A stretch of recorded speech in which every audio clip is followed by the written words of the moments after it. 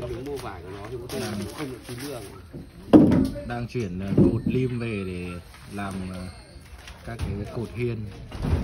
Các cái cột hiên, cột góc thay thế phục vụ là xưởng nhà cũ cho các bác.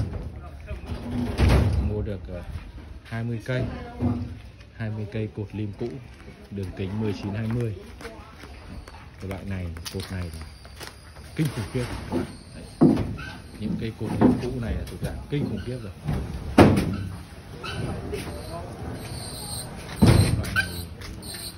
quá yên tâm luôn. Mua được ờ, 20 cây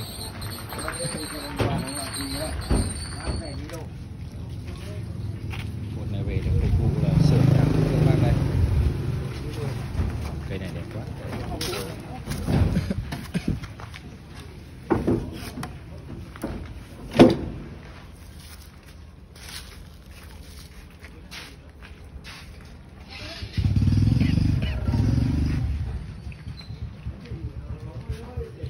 tím đường thì không cùng thất ra